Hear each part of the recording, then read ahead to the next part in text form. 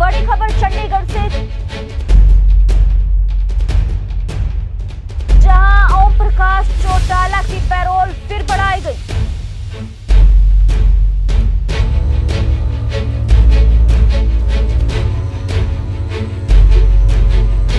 बारह अप्रैल तक बढ़ाई गई ओम प्रकाश चौटाला की पैरोल।